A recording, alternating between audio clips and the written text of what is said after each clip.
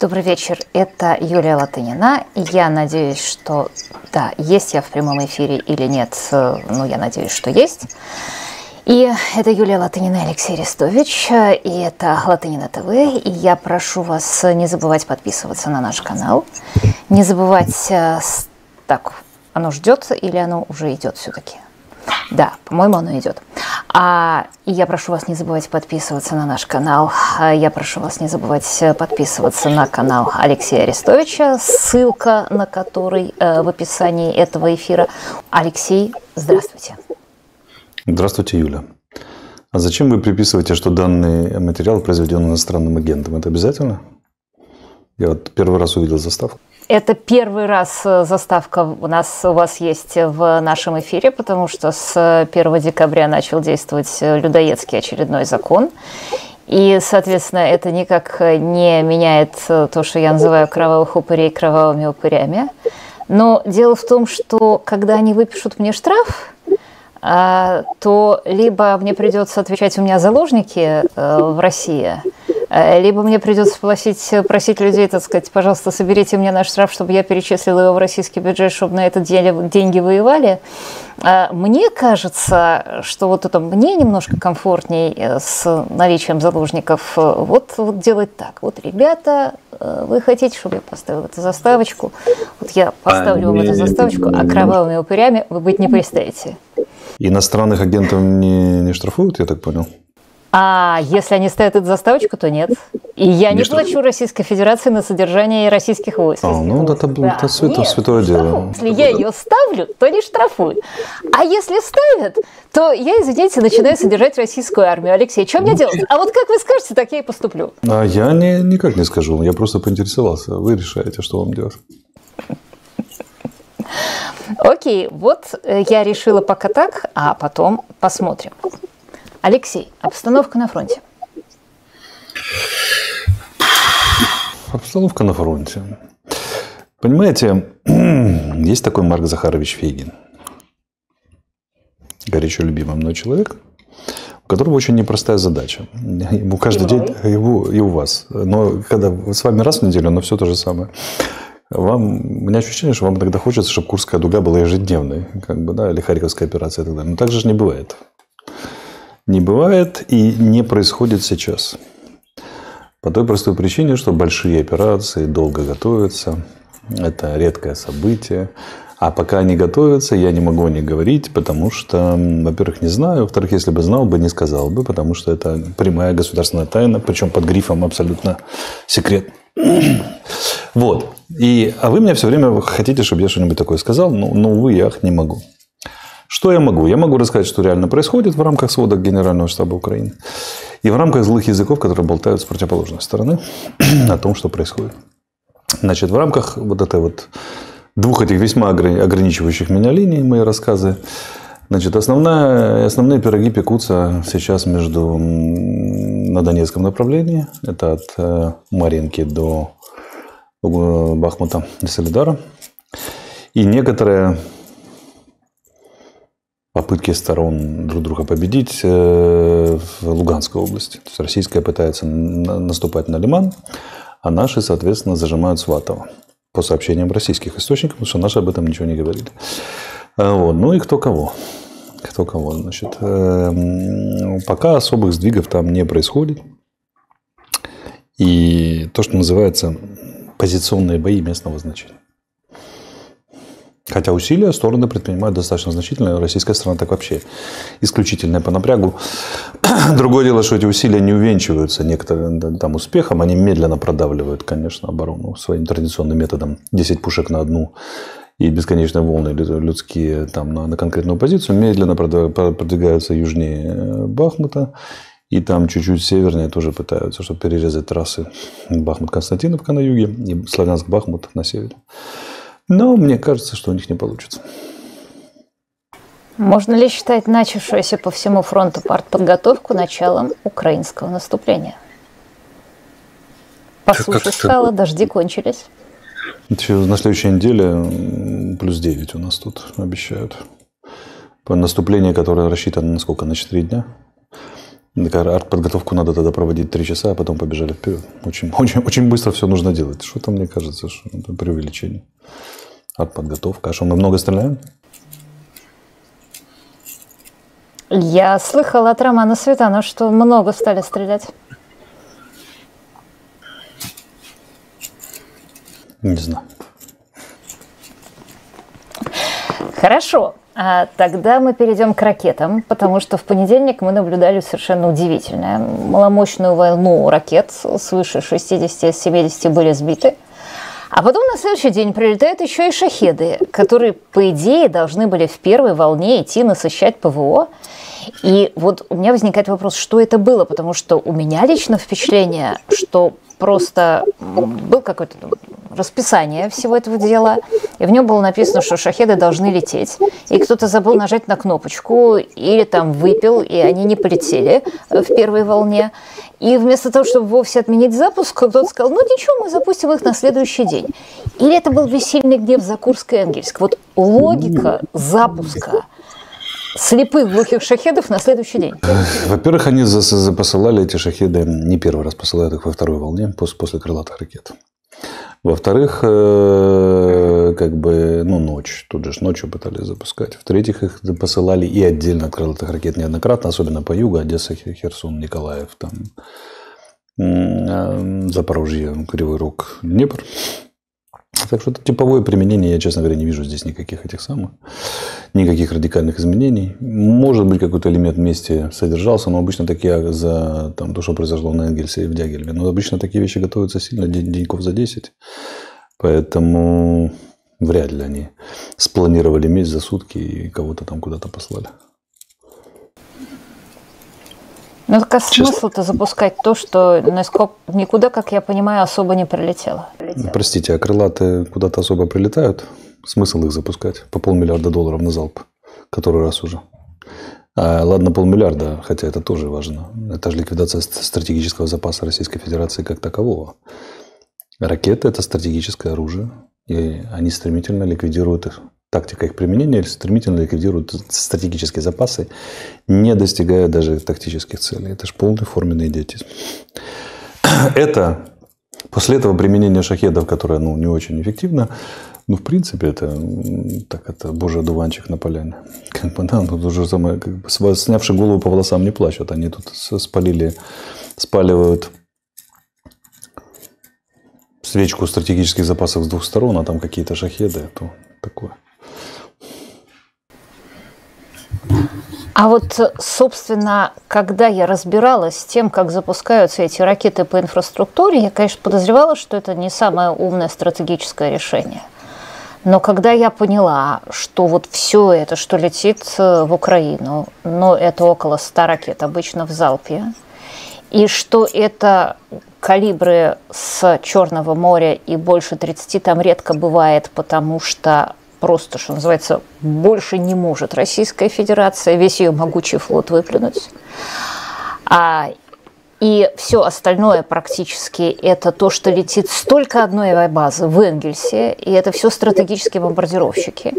И это все ракеты, которые летят э, по 2, по 5 тысяч километрах, как э, Х-555, э, как Х-101.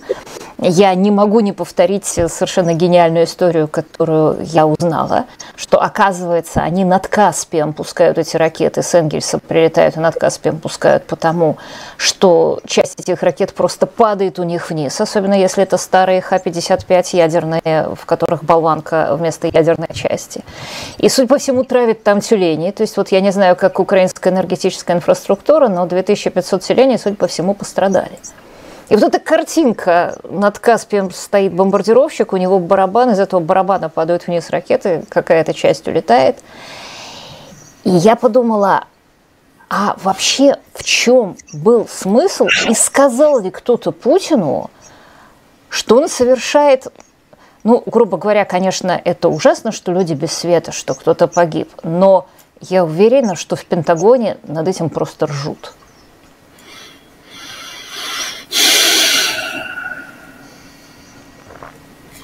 Ну, Юль, это не последний и не первый вящий идиотизм со стороны путинского режима. Как бы ваш покорный слуга с Фейгином, да и вам, по-моему, я говорил, только-только они их начали пускать, что это совершеннейший идиотизм. Более того, я с наглой улыбкой выперся на трибуну 24 числа и первые дни, прекрасно зная, видя, как они применяют крылатые ракеты, я понял, что толку не будет. В этой, в этой войне крылатыми ракетами им не победить и даже не нанести сколько-нибудь серьезного урона. Урона на Земле, может быть, тогда было еще непонятно, но как бы, как, каковы будут успехи. Э, но по крылатым ракетам, по способам их применения, я сразу понял, что все.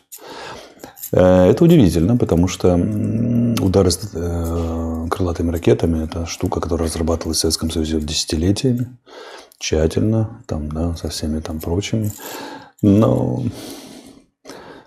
не смогли они э, воспоследовать предписаниям этой самой школы, скажем так. Да и понятно, они же не Советский Союз. Ну, чтобы...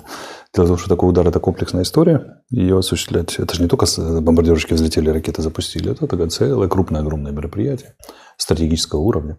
С работой разведки, со всем остальным. С подавлением ПВО, по идее, нужно делать. Вообще, как бы аргументов у меня много, но давайте, давайте вот так. Один оставим, но зато он стоит остальных 18, как в анекдоте про Наполеона Бонапарта и его генерал. Э, а кто вообще А я не знаю анекдота. Не знаете? В 2014 году какой-то генерал сдал там крепость. Наполеон его вызвал, ругал, топал ногами. Говорит, какого хрена вы крепость сдали? Он говорит, «Э, Сир, у меня было 18 причин на это. Первое, у меня не было пороха. Он говорит, оставьте одну эту. Вернее, достаточно одну эту, и все остальные можете оставить при себе. ну, вот, блин, у меня вопрос такой. Чисто в воздух. А кто стреляет крылатыми ракетами, тихоходной хренью, которая летит по очень устойчивой траектории и маломаневренной, по неподавленному ПВО? Раз вопрос. Кто стреляет крылатыми ракетами по неподавленному ПВО, которое непрерывно совершенствуется?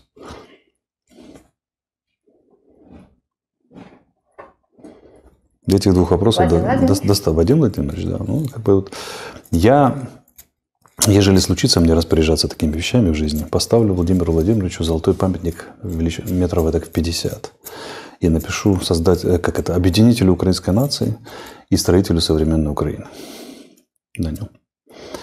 Потому что большего вклада в становления украинской государственности и украинской нации, чем Владимир Владимирович, трудно себе представить, раз. А во-вторых, он же делает, он решает сразу две задачи. Он нас становит и Российскую Федерацию существенно ослабляет, а это, так сказать, вещи взаимозависимые. Взаимозависимые. Так уж распорядилась судьба. За что ему огромное спасибо. Так, что, так спалить боеспособность Российской Федерации вообще сколько-нибудь состоятельность в военном отношении и политическом, как Владимир Владимирович, это, это вот как бы ну, я не знаю. Ну, трижды, на трижды Герой Украины он заработал, я думаю. Но я бы дал и пять. Я бы 11. Ну, я думаю, что Гага... Не оценят? Награда его ждет в Гаге. Я думаю, что его банально травят подчиненные, как бы, да, поэтому тут до, до, до Гаги ему никто не даст доехать, но тогда посмертно. Владимир Владимирович А если отравят, то когда? Нам-то еще сколько мучиться? Кто его знает, может до весны, может до лета. Я не думаю, что вы будете меньше мучиться, когда его последовательно радостно прибегут к власти. Должен быть, по идее, короткая, короткая история какой-нибудь черных полковников. Потом, да, может быть, начнется либерализация. Но сначала должна быть хунта, мне кажется, какая-то такая. ГКЧП. Другое дело, что он, как любой ГКЧП, может три дня просуществовать. Или две-три недели. Но, но по идее должен быть по фазе по логике. Нет, у меня тоже печальное ощущение, что первая итерация это будут какие-нибудь э, Пригожины. Но, кстати, все-таки возвращаясь к этой инфраструктуре... А вы понимаете, зачем он Пригожина, крутит Пригожина как фигуру? Вообще, вот понимаете? Политтехнологически, зачем ему Пригожин в таком виде? А, я думаю, что Пригожин, как и Залужный, вот Залужный не спрашивается Америки, а Пригожин иногда не спрашивается Путина. Он в том числе я крутит думаю, что... себя сам. Это Путин думает, что он вертит Пригожина. Это, конечно, да. Но зачем Путин вертит Пригожиным, даже если он и не вертит, а думает, что вертит? Он показывает всем, вот вы хотите, вы считаете, что я плохой, вы хотите, чтобы был Пригожин после меня. Потому что после меня будет Пригожин. Лучше меня берегите. Особенно олигархам он показывает. Это же опричник, который вас будет раздевать. Он недаром начал старт с фразы «Я олигархов должен служить». И он говорит, я ваша единственная гарантия, товарищ олигархи. Иначе будут вам головы сносить кувалды в подвалах. А вы будете под паяльной лампой отписывать все вот таким вот прихожим. Хотите? Нет? Держитесь меня. Он уже торгуется за жизнь. Владимир Владимирович. Ну, Владимир Владимирович мне очень часто напоминает э, королеву Серсею, которая все время строила очень сложные планы, но в итоге оказывалась не шахматной фигурой, а пешкой на доске. А в этом смысле для того, чтобы строить какие-то сложные планы и кем-то манипулировать, ведь нужно иметь адекватную информацию. А Путин имеет адекватную информацию о том, что происходит? Э, тут большой вопрос, но Путин точно виноват в ее оценке.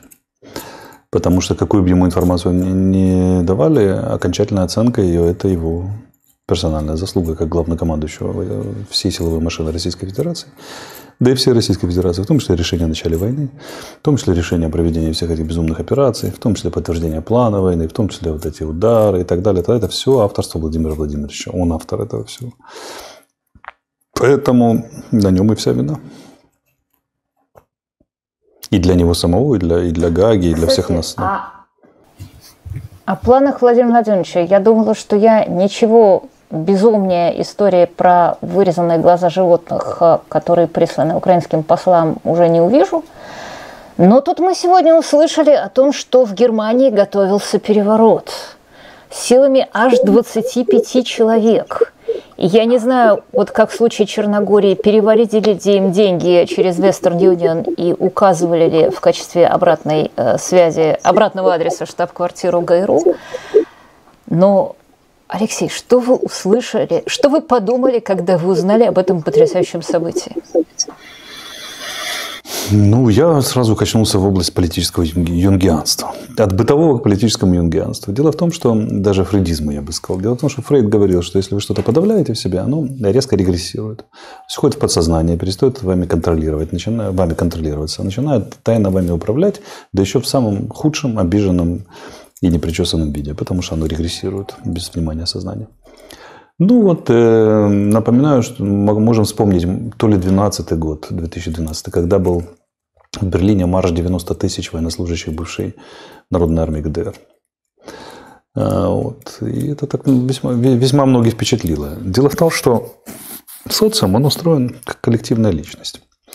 И если ты там подавляешь и не замечаешь, и не даешь высказаться, чем хороша свобода слова? Чтобы все говорили. Все субличности говорили, даже самые маленькие.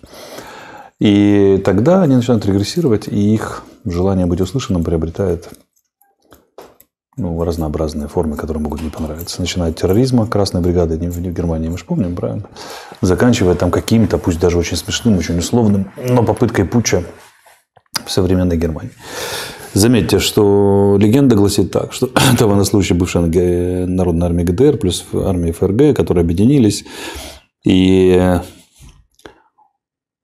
на основании правых идей, идей возрождения роли Германии и германского милитаризма, значит, там пытались там свернуть правительство, которое уничтожало германскую военную и силовую машину. Э, это при том, что выкинули 100 миллиардов, объявили 100 миллиардов долларов, на 100 миллиардов евро на Бундесвер, объявила Германия. Казалось бы, вот тебе возрождение машины, радуйся и так далее, и так далее. Но и здесь что-то не понравилось. Не знаю, правда это или неправда. Там же в легенде написано, что они обращались за помощью к России, та отказала. Э, вот. Но если это даже родилось в голове пяти больных пенсионеров, то это уже показывает, что определенная тенденция в обществе существует. Недовольство существует, на то существуют крайне правые или ультраправые партии в Германии. И это лишний раз покажет, что современное общество, даже такое высокоразвитое, как немецкое, не умеет учитывать все интересы, все голоса и правильно говорить друг с другом, правильно коммуницировать. Ультраправые, если существуют, это не потому, что они сумасшедшие фанатики, а потому что есть общественная тенденция, которая вливается в ультраправые взгляды. И чем жестче их, э, или ультралевые, чем жестче их репрессируют, тем жестче политика, которую они будут проводить аж до терроризма, аж до попыток путча. Как-то вот так. Говорить надо со всеми. Ну, со всеми по-разному, но со всеми. Говорить надо со всеми. У нас тут... Подавление... абсолютно... Где работаем?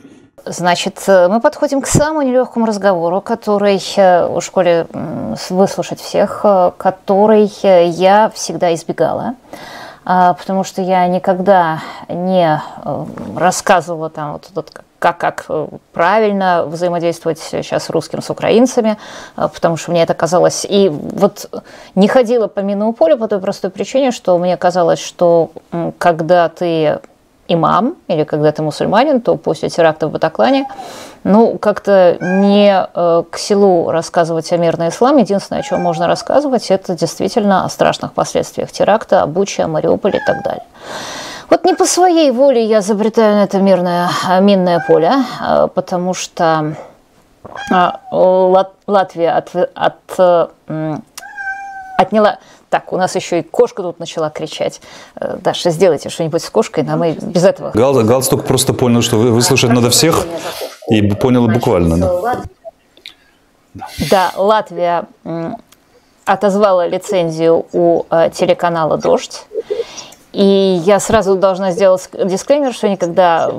Один раз, по-моему, я в жизни была на дожде, у нас разные стилистики, поэтому то, за что я хочу вступиться, э, я хочу вступиться за то, э, что во время этой страшной войны э, с союзником надо держаться вместе и надо бороться с настоящими врагами, а не с теми, кто говорит даже пусть вещи, которые частично кого-то не устраивают.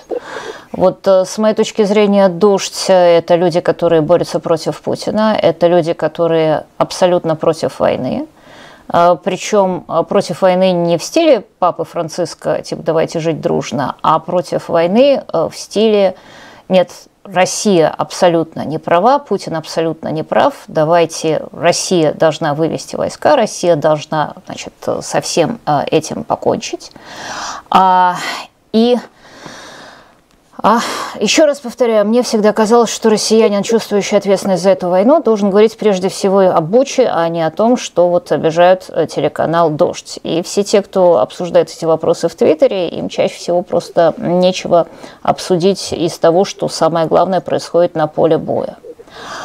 А и вот у меня вопрос, имеет ли смысл выяснять это отношение, имеет ли смысл мочить дождь, если дождь против войны, против Путина – но да, многие его ведущие, да, сочувствуют, будучи россиянами, темным, глухим, забитым мобиком, и э, несут за них ответственность, которую они все там принимают. А вот диванные заградотряды требуют от них однозначного осуждения и без оного называет фашистами. Вот, собственно, у меня ваш э, вот этот главный вопрос к вам. Вот вы же сами в ФБ публикуете, среди офицеров аэродромов есть те, которые топят за Арестовича. Так как же они будут топить, если с ними не разговаривать? А как же с ними не разговаривать, если не входить э, в их э, злодеев положение? Ну, я как раз с ними разговариваю, потому что мой метод прост. Как это? Надо искать друзей среди врагов. Я же разведчик. Разведчики ищут друзей среди врагов. Украинская нация – это нация контрразведчиков. Они ищут врагов среди друзей. И эту специфику надо очень четко понять. Вот. Поэтому это раз. Во-вторых, ну тут же надо смотреть сразу, тогда, если мы уже заговорили, контекстуально, широко. Но понимаете, что в данной ситуации российское означает подозрительное по факту, по умолчанию для нас. Вот как российский канал. Все, сразу под... два слова, вызывающие крайнее подозрение. Российский, потому что российский, канал, потому что кан... канал, потому что канал, потому что э, российское телевидение играет роль этих самых Башем и Стругацких, зомбирующих. Поэтому словосочетание «российский канал», мы, а во-вторых, мы не верим в свободу прессы в России вообще никак. Даже ни для каких СМИ, даже не для оппозиционных. Я вот передаю вам коллективное украинское мнение. Поэтому российский телеканал сразу, мы сразу подозреваем, что эти люди либо принимали участие в, в, в наускивании тех, кто у нас насиловал четырехлетних и насилует четырехлетних девочек, либо э, как бы жестко и однозначно не осудили. Или говорили, что не все так однозначно, или еще что-то. Мы, мы сразу насторожены. Теперь вопрос, следующий момент. А, телеканал «Дождь» осуждает Путина. А в только ли в Путине дело? Мы же подозреваем Россию и Российскую Федерацию, что с Путиным, что без Путина. Потому что имеем 400 лет прекрасного опыта взаимоотношений с ней. Там только, только за последние 100 лет голодоморы, там несколько голодов, расстреляно возрождение украинское. Там запреты языка, от, отпреты языка обратно и так далее, и так далее. В общем, война, подавление, подавление, подавление, подавление, подавление. Еще в 87 году уже при перестройке у нас убили Василия Стуса, Стуса Мордовской колонии. А вот, поэтому э, мы, в принципе, очень осторожно смотрим на, на, все, на все эти вещи. А теперь представьте, что вот происходит такая оговорка, как бедная мобилизованная. Бедная мобилизованная у нас считается однозначно. Телеканал «Дождь» хочет помочь тем, кто пришел сюда и уже находится здесь, убивать на, на, нас убивать. Ну вот как мы должны читать это все? Иначе. Дальше мы смотрим, что происходит в связи со скандалом. Это... Я, я не знаю подробностей, сейчас очень много фейков, кто-то очень умно делает дождю прививки, как вот, э, э, это оперативный термин, грубо говоря, когда ты хочешь обеспечить себе алиби и привлечь внимание, ты стреляешь сам себе в дверь, а потом говоришь, что неизвестные бандиты на тебя напали, тебе сразу сочувствуют. Вот когда опубликовали карту дождя, на которую очень многие в Украине повелось, вот этот фейковый постер, что он в свободной Европе 4,5 месяца всего лишь вещал, а в, России, в путинской России 12,5, и там карта Крыма была, оказалось, что это фейк, говорят. Но я особо не разбирался, фейк не фейк, но, но вас переспрошу, может, вы знаете. А фейк ли эта карта, раз. А во-вторых, фейк ли э, то, что они заявили до латышским, латышским чиновникам, латвийским, вернее, что вы должны с ними общаться на русском языке, там, да, с телеканалом, а не писать им на латвийском, которого они не понимают. Было такое? А у меня еще есть лучшая идея. А давайте позвоним сейчас. У нас есть такая возможность. Давайте. У нас э, почти э, рояль стоял в кустах. Э, попробуем позвонить Наталье Синдеевой, и она ответит на этот вопрос сама. Она, она глава, я так понял, да, дождя? Генеральная? Она хозяйка. Хозяйка, давайте. А она, э, она нет, э, генеральный, э, если, если я не ошибаюсь, редактор Тихон Зятко, а Синдеева владелица телеканала «Дождь». Что-то, давайте. Все, Даша, попробуйте. Сейчас, Юля, так вот, вот какое-то время. Да, я знаю, что, и я напоминаю, я извиняюсь за то, что у нас что-то, я квакаю в эфире, как вы видите, я довольно сильно волнуюсь, потому что, еще раз, я прекрасно понимаю, что я хожу по минному полю, и я прекрасно понимаю, что э, на самом деле главным яблоком раздора является вопрос, можно ли сочувствовать мобилизованным. Я прекрасно понимаю, э, что для украинцев любые люди, которые там, мобилизованные, немобилизованные, контрактники, да, это синоним Бучи. Но если российская СМИ пытается говорить с этими мобилизантами и пытается отговорить их от того, чтобы воевать, то, Алексей, скажите, что оно им должно Шейх. говорить? Э, отговорить, либо лучше их снарядить, как прозвучало вот у Алексея Коростылева. А вот еще интересный твит мне прислали. Вот он. Значит, цитирую. Вчера весь ФБ был в этом... Ну, я процитирую. Вчера весь ФБ был в этом изюме. Мне кажется, что радоваться вообще неподходящая эмоция. Радоваться чему? Что убивают одних, а не других? Сама эмоция мне непонятна. Может, тогда стоило бы радоваться и ждать момента, пока Киев возьмут. Жертв точно было бы меньше. Вот взяли бы Киев за три дня, война бы закончилась вовсе. Который мне не... Короче говоря, мне непонятно это радоваться. Напоминаю, что это Юлия Латынин, Алексей Арестович. Нас э, смотрит 38 тысяч человек. Я э, прошу прощения за то, что у меня есть некоторые проблемы со звуком, но простите, вот у Даши сейчас не пять рук, а она пытается набрать Наталью Синдееву. Не забывайте подписываться на наш канал, не забывайте делиться ссылками на этот эфир и ставить лайки. Э, не забывайте подписываться также на канал Алексея Арестовича. Э, Даш, как у нас там... Э, Я создаю ссылку сейчас, а. Окей, а пока Даша создает ссылку, я предлагаю, как ни странно, сменить тему, к которой мы вернемся, и э, поговорить о том, что случилось в Энгельсе, или даже конкретно об одном детали, который меня очень интересует. Вот тот окурок, который взорвался в Энгельсе, он же поразил самолеты прицельно – а, и, собственно, и подрезанию тоже все было прицельно. И если как говорят злые языки, этот окурок имел вид Ту-141 стриж, то стрижа глупая машина. Это значит, что мозги у этого стрижа были полностью заменены. А и если учесть, что Энгельс – это единственный аэродром, с которого взлетают стратегические бомбардировщики, которые несут ядерные заряды, а, которые бьют по инфраструктуре Украины, а то как же это получается? Вся российская ракетная мощь может быть выбита одним ударом по одному аэродрому? И где же было российское ПВО?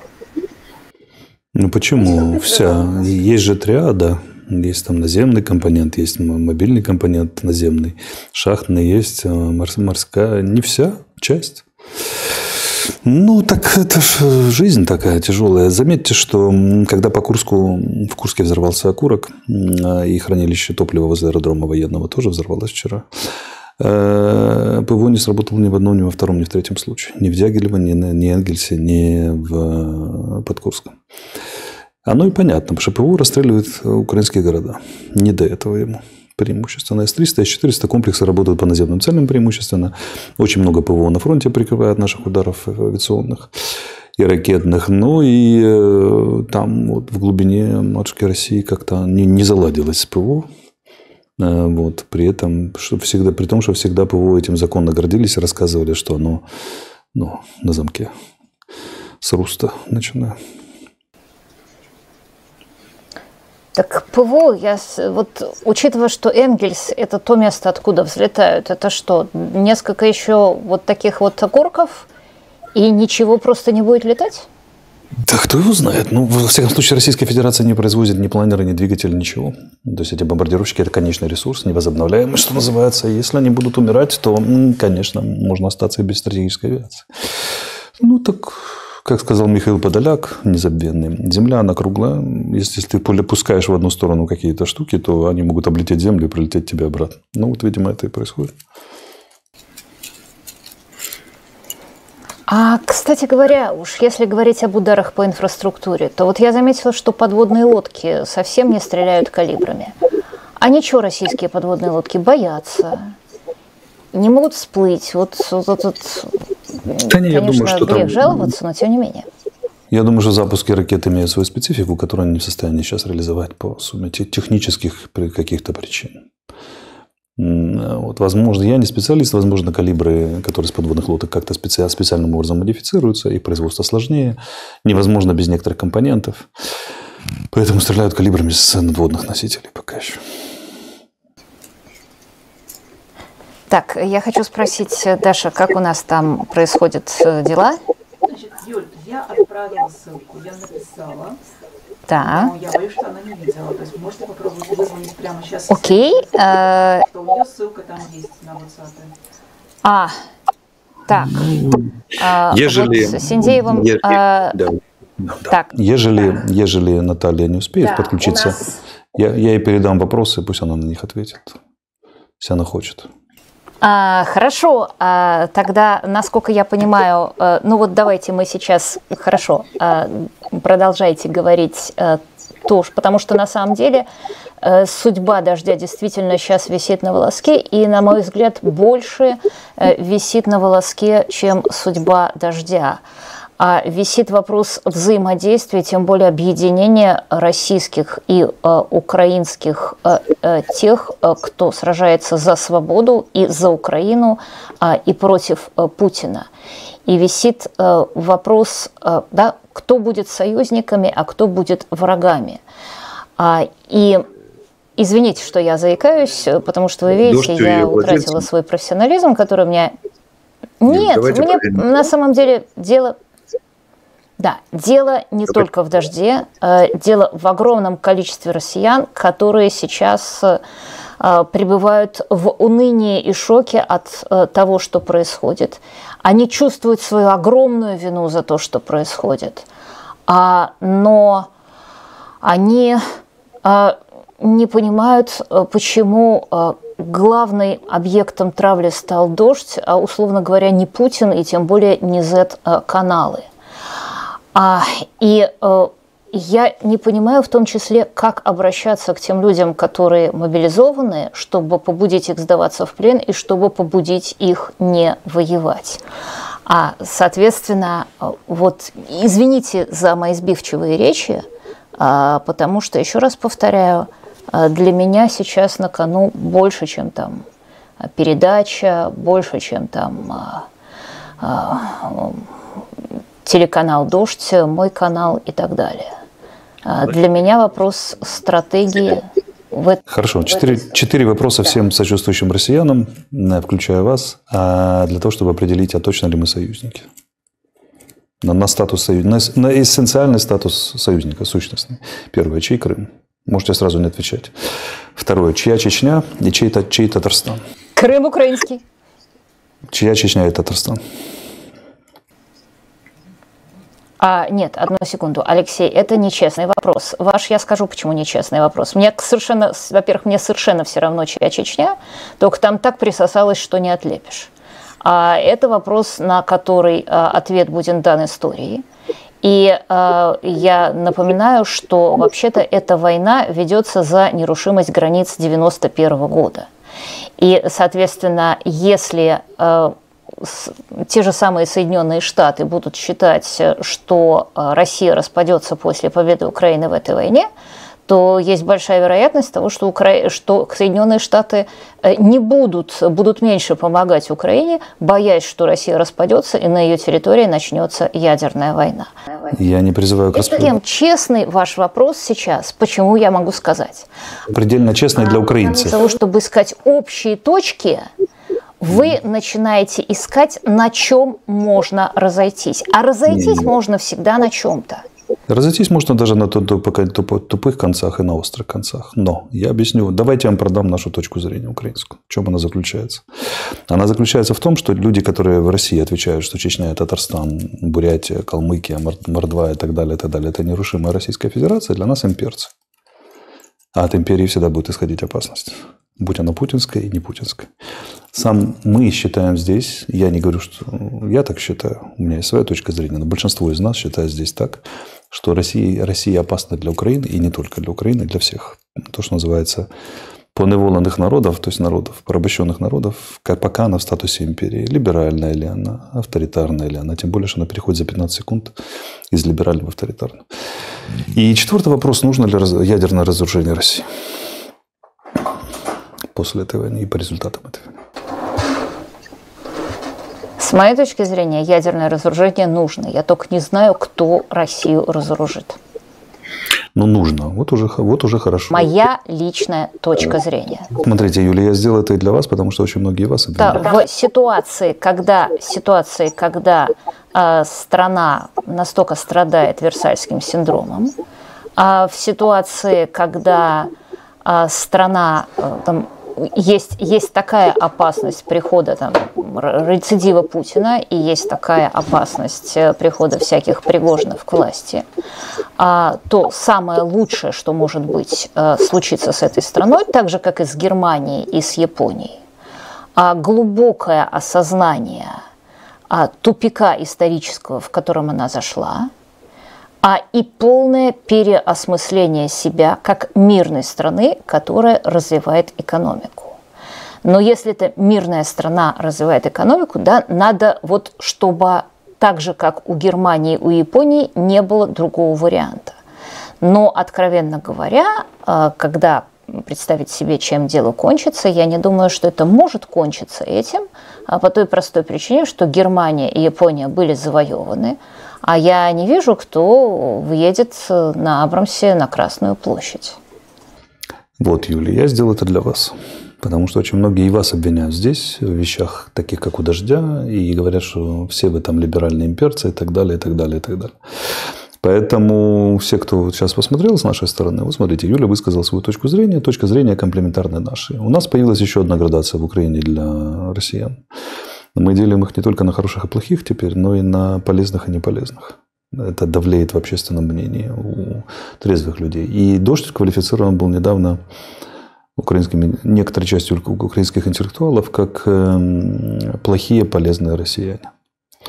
Вот в такой градации. Значит, плохие, потому что имперцы, а полезные, потому пусть либеральные, а полезные, потому что хотят снять Путина, а это часть задач, которую мы хотим решить в отношении Российской Федерации. Только часть.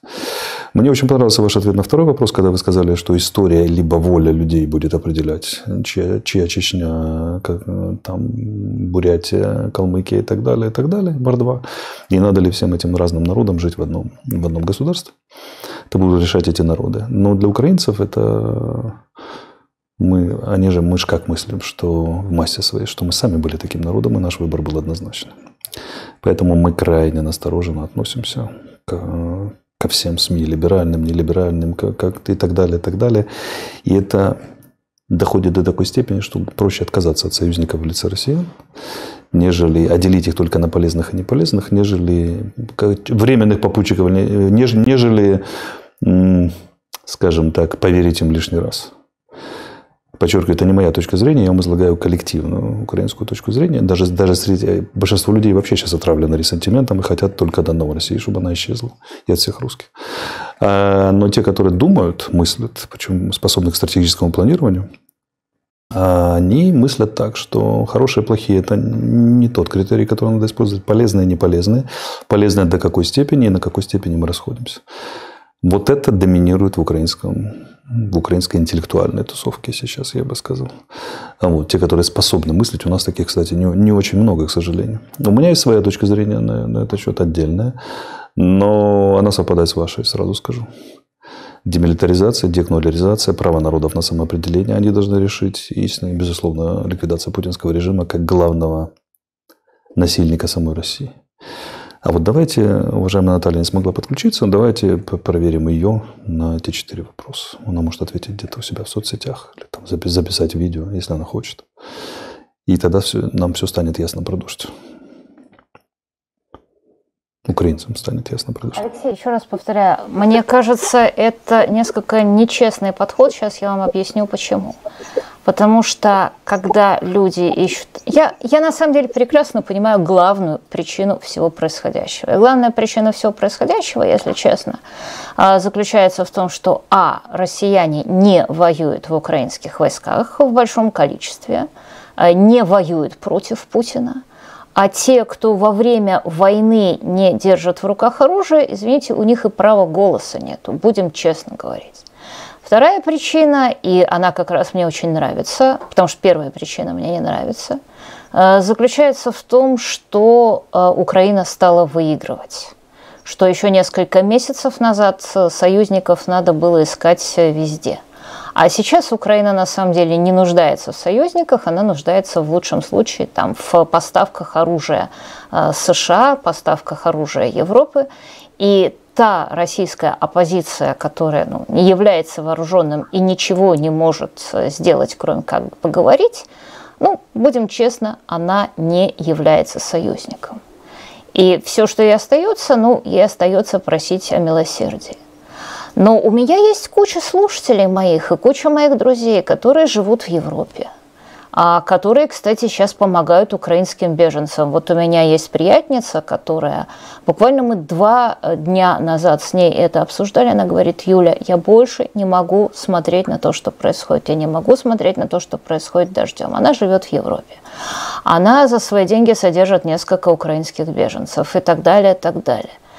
И вот, несмотря на это, что бы я ни делала – а меня все равно будут, там, ко мне все равно будут относиться как к россиянке, хотя я точно также являюсь, а, ну да, не смогли мы сдер, сдер, свергнуть Путина. Ну хорошо, огромное количество людей, огромное количество народов во всем мире не могло свергнуть хорошо вооруженных тиранов – и когда эти люди бегут от своих тиранов, их э, не встречают словами, ну что ж вы не голыми руками танки не завязали. Не вполне Вот я не смогла свергнуть Путина.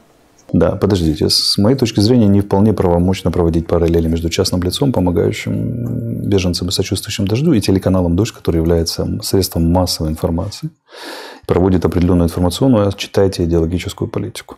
Вот состав, идеологическую составляющую этой политики хотели бы для себя уточнить украинцы. Может, мы готовы пригласить «Дождь» к себе, чтобы у нас работал. Предоставить режим наилучшего благоприятствования. Только, только вопрос, только вопрос, э, нам бы хотелось бы понять, с кем же мы имеем дело. А у нас ряд заявлений «Дождя» во время скандала и после скандала, и, ряд, и способы его позиционировали вызвали ряд существенных подозрений, скажем так. Юля, Наталья может их развеять, и весь коллектив «Дождя». Вполне. Вы говорите, что это нечестно. А что здесь нечестно? Мы же хотим понимать, ну, как это... А с чем мы, как с явлением, имеем дело? До какой, до какой степени мы можем с ним зайти? До какой степени мы попутчики? До какой степени мы можем опираться? А потом выяснится, что после победы условного Навального, который придет и сделает праволиберальную Россию, э, разрешит парламентаризм партии, немедленно слетят западные санкции, он сделает в течение пяти лет, десяти лет Россию сильной, чем это обернется сильно России для нас, мы прекрасно знаем. При абсолютном либерале Ельцине у нас начали первый раз отнимать Крым. 93-96 год, это, как это Московщина в Крыму. Прозападный Козырев, страшно либеральный Ельцин, сколько суверенитета хотите, столько и берите. И так далее, и так далее. А при Александре II Освободителе, что у нас там было? Я, я даже не беру сейчас перечислить. Мы априори не доверяем Москве. И мы, как нация, которую убивают, просто за то, что мы украинцы, Никаких иных причин. Мы не угрожали Российской Федерации. Никак. Ни, кажд... ни отдельному гражданину, ни государству, ни обществу и так далее. Нас начали убивать просто за то, кто мы есть. Мы, как нация, которая убивает за то, кто она есть, хотят, хотят, хочет спросить у российского либерального телеканала, а кто вы есть, прежде чем мы с вами будем союзниками. Это же очень просто, это паритетно. А вы говорите, это нечестная игра. Это нечестная игра, я понимаю почему. Потому что мы существенным образом подставляем дождь, заставляя его публично отвечать на такие вопросы. У них возникают многочисленные проблемы с их родственниками в России.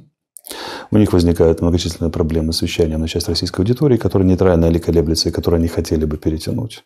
Тут даже ответят, относятся ответы политика, включая самого Навального, про Крым, потому что, понятно, если бы он сказал, что Крым украинский, он мгновенно оттолкнул от себя кучу союзников, которые внутри России, и сторонников, которые в тот момент ему были нужны для того, чтобы бороться с Путиным и так далее, и так далее. Но я хочу, чтобы вы поняли нас, как мы это все воспринимаем. Каждый такой ответ – это голодомор, буча. Буча, голодомор. Мы иначе это не воспринимаем. Я имею в виду массы, не себя. Что касается меня, я прекрасно все это понимаю. Это видно по моим оговоркам и прямым высказываниям. Я прекрасно понимаю, что дождь в очень тяжелом и сложном положении. Я в том числе, я прекрасно понимаю, что информационная работа ведется в первую очередь за нейтральных и колеблющихся. На них она должна быть направлена. А с нейтральными и колеблющимися говорить приходится ну, не черно-белыми вещами, потому что в противном случае ты их не перетянешь нифига. Там надо издалека заходить и медленно накапливать аргументы, медленно менять точку зрения, чего не понимают люди, которые там отравлены ресентиментом на законных, даже если на законных правах отравлены. Я прекрасно понимаю, что, скажем так, э, Любой имеет право голоса, а не только кто только держит оружие в руках. Но современная война – это прежде всего информационная война. Информация, информация – верхний контур войны. Она старше и важнее, чем те, кто держит в руках оружие, как бы обидно им ни звучало. Например, тем же бойцам Легиона Свободы России. Потому что, в конце концов, э, ход войны наличие союзников, вооружения, поставок, санкций зависит от того, от информационной войны, а не от того, что там настреливают на поле боя. Ну, скажем так, от информационной больше, хотя на поле боя, конечно, безусловно, все решается. Э, точнее, зависимость тут хитрая, давайте уже обозначим, если уже заговорили, что это касается дождя напрямую. Что если ты не выиграешь информационную войну, ты можешь не проиграть. Но если ты проиграешь информационную войну, ты проиграешь гарантированно. Поэтому это верхний контур любой войны, и они, как находящиеся на верхушке, должны четко сказать с точки зрения украинцев, вы вообще за что воюете. Если дождь скажет в, том, в тем или иных вариантах, что мы воюем за нейтральную или колеблющуюся массу в Российской Федерации, то украинцы не идиоты. Даже отравленные ресентиментом, мы все поймем, что это очень тонкая работа, и сразу бросаться лозунгами, которые написаны на знаменах правого сектора, наверное, не получится в России и не будет действовать. Вот, но пусть они как-то дадут понять, пусть хоть подмигнут раза три. Но они же пока не хотят этого сделать, правильно? А их реакция на, на решение латвийских чиновников, она вообще как бы настораживает всех очень сильно, потому что за ней видят традиционный имперский тренд, э, как это называется, такой зверхний. Э, как, как по-русски зверхний? Сейчас посмотрим. Ну, в общем, пафосно, претен, пафосно надменный, да, и так далее. Мол, э, великие русские журналисты диктуют мелким э, латышским чиновникам о том, как, как этот самый как надо жить, быть и так далее. И, и, и все это, имея 400 лет, как это, кровавейших ран, священных ран, я бы сказал, воспринимается в совершенно определенном конспекте. Вы поймите, Арестович такой умный может быть один, но может быть еще парочку таких есть. А Украина думает немножко иначе которая каждый день под бомбами сидит, каждый день получает похоронки с фронта и каждый день видит, ага, опять изнасиловали 11-летнюю девочку, вот радиозаписи переговоров расстреляли наших пленных, вот выкололи, выкололи глаза пленным, вот там еще что-то, вот яйца отрезали, вот прочее, прочее. И когда дочь говорит, ну подождите, наши же бедные мобилизованные замерзают, Арестович еще может понять, на кого и как они работают, а украинцы понять не могут. Не надо требовать от народа, который не выдерживает в массе своей испытаний, наложенных войной на психику, чтобы они понимали дождь, к сожалению. Другое дело, что власти, они должны смотреть дальше, чем народ. Они должны заниматься стратегическим планированием. Это то, к чему вы призываете. И я как раз чрезвычайно склонен к этому смотреть, испытывая, между прочим, соответствующее давление со стороны своего народа. Потому что мне за, за разговоры с хорошими русскими, в том числе с вами, прилетает регулярно и постоянно. Мне, конечно, плевать на это глубоко, на прилеты, но, но, но, но, тем, но, тем, но тем не менее. Как бы, да? Мы с вами в специфическом положении. Вас в такой ситуации не плевать. Мы все да. знаем, что мы ходим по минному полю, да, что идет война. И я вообще считаю, это абсолютным чудом, что в ситуации, когда идет такая война, и есть Буча, и есть Мариуполь, а некоторые а, украинские общественные деятели продолжают разговаривать с некоторыми русскими журналистами. Так я вот. считаю, что во многих условиях это было бы невозможно, и я стараюсь, э, чтобы это было возможно, и Марк старается, чтобы это было возможно, и так далее. Так вот, вот, есть люди, которые думают далеко, и понимают, что с Путиным или без Путина Россия никуда не денется с наших границ. Никуда. И надо заниматься стратегическим планированием на 50, 70, 100 лет и так далее. А есть люди, которые готовы задушить каждого русского сейчас. Просто либерального, нелиберального и так далее. Задушить, сжать пальцы и никогда больше не отпускать. Так вот, э, давайте делать каждый свою работу. И позиционирование во время войны – это очень сложная вещь. Я желаю дождю, чтобы он сумел найти позиционирование. Но у меня возникает вопрос, а зачем дождю оправдываться в глазах украинцев вдруг? Хай делают свою работу. Их оценят и украинцы, и все остальные, и свою историю. Они могут вещать на Ютубе, в конце концов. Как большинство, как очень много каналов. Э, поэтому их оценят. Их оценят, все их поведение оценят. Я прекрасно понимаю, в какую игру играет дождь да, и чем он занимается. Но я не вся Украина, к сожалению. И не вся Латвия. Поэтому желаю дождю, еще раз повторюсь, более точного позиционирования, если они чувствуют потребность позиционироваться не на российскую аудиторию, например, на украинскую, европейскую и так далее. А если нет, и они выполняют сверхзадачу для себя, то надо уже сжать зубы и выполнять эту сверхзадачу для колеблющихся в России. Тогда уже не обращать внимания на то, что говорят в Украине, или меньше обращать внимание, и меньше на то, что говорят в Латвии. А оправдаться на все четыре стороны в условиях, когда над этим висит транспарант Буча, с которого стекает, кровавыми буквами написано, из которого стекает и капает кровь, ну, вряд ли удастся. Для этого надо быть человеком или, или, или группой очень высокого, тонкого таланта ходить между капель. Вот дождь, сможет ли дождь пройти между капель? Вот центральный вопрос сегодняшнего вечера. Что бы вы сказали российским мобилизованным в такой ситуации? А, значит, я могу сказать не только российским мобилизованным, но и российским солдатам и офицерам, в целом, даже кадровым. Хочу вам сказать очень важную вещь. Ребята, как, воен... как военный военным, вас обманули. Путин вытер ноги о честь русского офицера, о честь русского солдата. Э, он вас оглупил, он вас развратил, он сделал вас палачами мирных людей. Под... И самое прискорбное в том, что это сделано во имя, играя на вашем чувстве, естественном чувстве всякого мужчину, защитить свою родину и даже посвятить э, свою жизнь такой профессии. А, вот. Поэтому, когда вышли в армию, давали присягу, я думаю, вами руководили самые лучшие чувства, как и мной, защитить своих. Даже, в конце концов, Родина для нас – это наши жены, матери, дети, там, старики и так далее, и так далее. Мой дед – русский солдат. Мой дед русский солдат, разведчик, прошедший финскую, всю, всю Великую Отечественную. Э, вот, в пехоте, в разведке вообще непонятно, как уцелевший, с 17 до, до, до скольки, там, до 20, скольки и так далее, и так далее. Так вот, э, он был всегда для меня образец человека, человека чести. Он из донских казаков выходец, как бы, да, он всегда очень высоко и правильно себя нес. Но я, я знаю, что русский солдат может быть таким, русский офицер. Кого, кого из вас сделали Путин, Пригожин, Кадыров, Золотов? Кто там у вас там есть все еще? Все эти Соловьевы и так далее, и так далее. Они сделали из вас тех, от которых с ужасом отворачивается весь мир.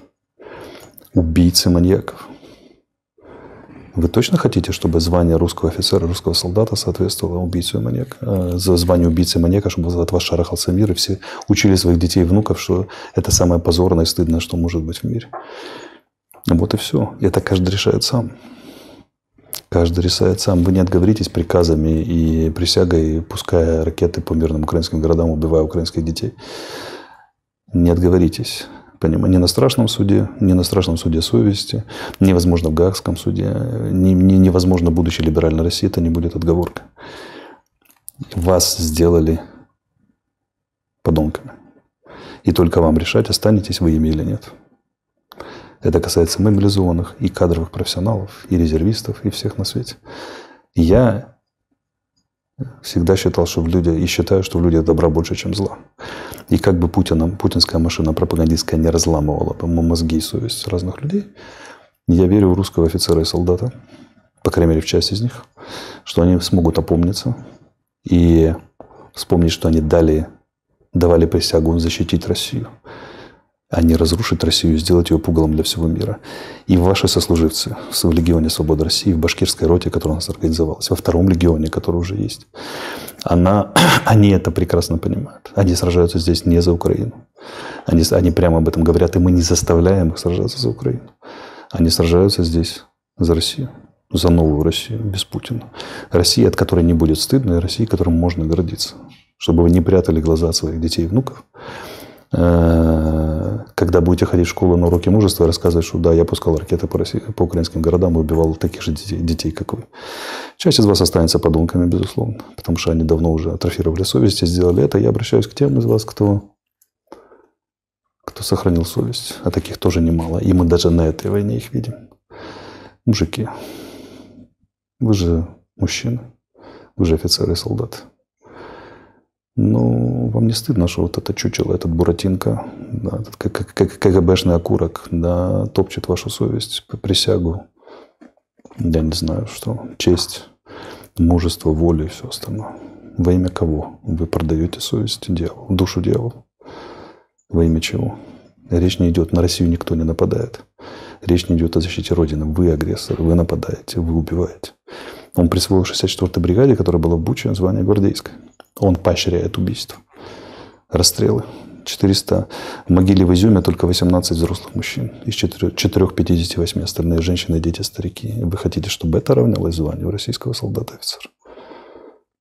Не подумайте.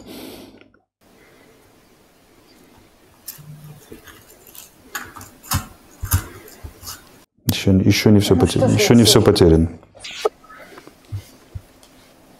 Вы хотите еще что-то добавить? Не-не, я говорю, что еще, еще не все для вас потеряно, да.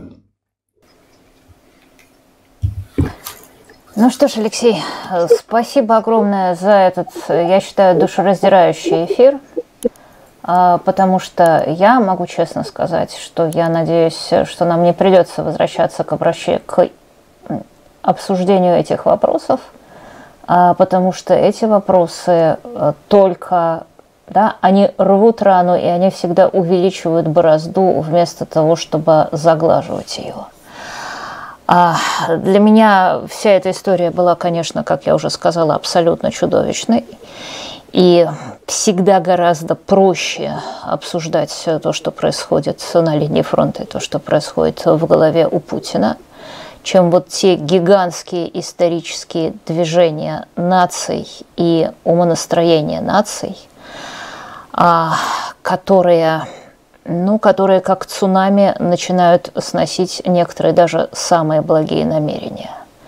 Я по-прежнему буду руководствоваться знаменитой максимой «Кто не против нас, тот с нами». «Осгар ук эстин катемон, ипер эмон эстин». Я даже не поленилась пойти прочесть оригинал. Напомню, что это Евангелие от Марка.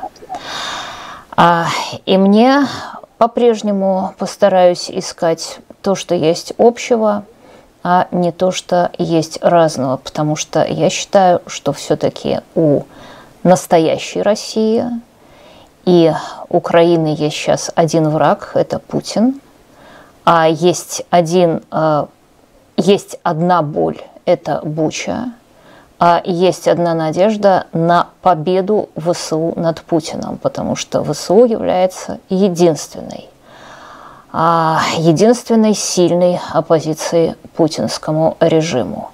Я считаю, что все это нас должно объединять. Те э, вещи, которые, естественно, отличают Россию от Украины, иногда далеко не в пользу России, а, ну что же, их можно будет выяснить, а иногда, может быть, и не нужно будет выяснять после войны. В конце концов, вот у Украины и Польши тоже была не очень хорошая взаимная история, но сейчас, как мы видим, просто никто про эту историю не вспоминает, и Польша делает для Украины то, а, что превосходит всякое человеческое вероятие. Алексей, спасибо вам большое. Спасибо. И до следующего раза. И наши уважаемые зрители. Да, нас смотрят да, нас смотрело где-то 52 тысячи человек.